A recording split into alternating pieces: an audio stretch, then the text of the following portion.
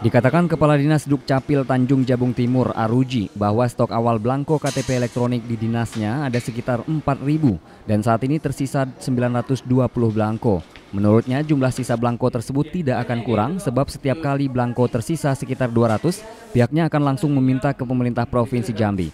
Hal tersebut dilakukan dalam rangka memaksimalkan pelayanan terhadap masyarakat yang mengurus dokumen kependudukan, terutama identitas diri selama bulan suci Ramadan. Dengan jumlah sisa belangko KTP elektronik tersebut, belum diketahui kapan belangko itu akan habis karena tergantung dari masyarakat yang datang untuk mengurus KTP. Rata-rata dalam satu harinya, belangko KTP elektronik yang terpakai sebanyak 150 buah.